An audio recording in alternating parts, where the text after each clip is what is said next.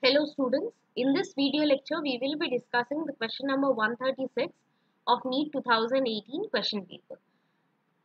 The question is, which of the following options correctly represents the lung conditions in asthma and emphysema respectively?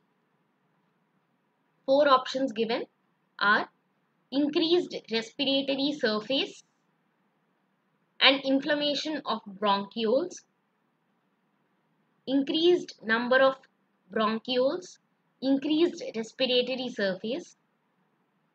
3. Inflammation of bronchioles, decreased respiratory surface. Number 4. Decreased respiratory surface and inflammation of bronchioles. Now by looking at the options, you can easily eliminate, you can blindly eliminate the second option, right? Why? Can bronchioles number be increased? No, that's so silly, right? How can the number of bronchioles be increased? Even if they are increased, then it will be good for the body. It will be a positive condition for the lungs, right? So this cannot be the option. So you have eliminated the option 2. Now let's discuss first what happens in asthma. Okay, in asthma there is shortness of breath. Why this happens? Because of inflammation of bronchioles. What happens when the bronchioles, there is inflammation in the bronchioles? Inflammation in bronchioles. What happens when there is inflammation? There is excess secretion of mucus, right? And when there is excess secretion of mucus, then what happens? The lungs become really watery, right? Then what happens? Due to that,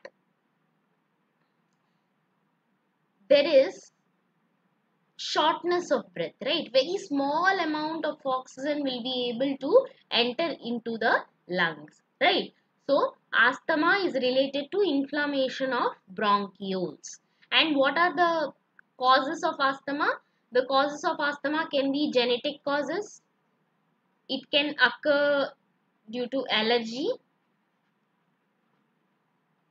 Okay or it can be due to pollution as well right? There are several causes. And when we discuss about emphysema what happens what happens in emphysema?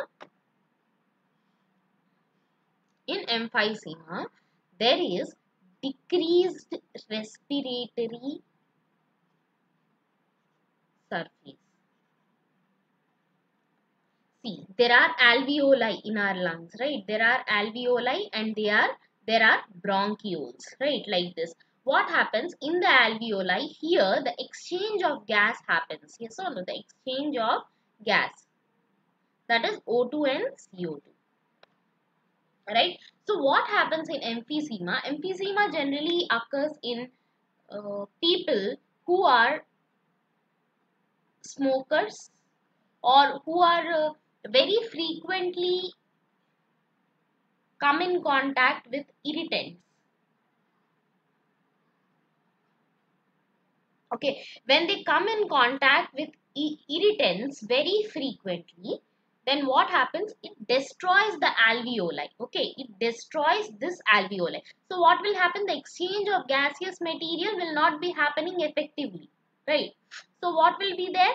And this also damages the elastic nature of the elastic nature of the lungs right?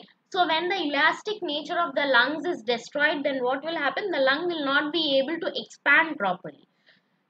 When the lung is not able to expand properly, then what will happen? There will be a decreased respiratory surface. The respiratory surface is decreased. So asthma is associated with inflammation of bronchioles and decreased respiratory surface. That is option number 3. Thank you.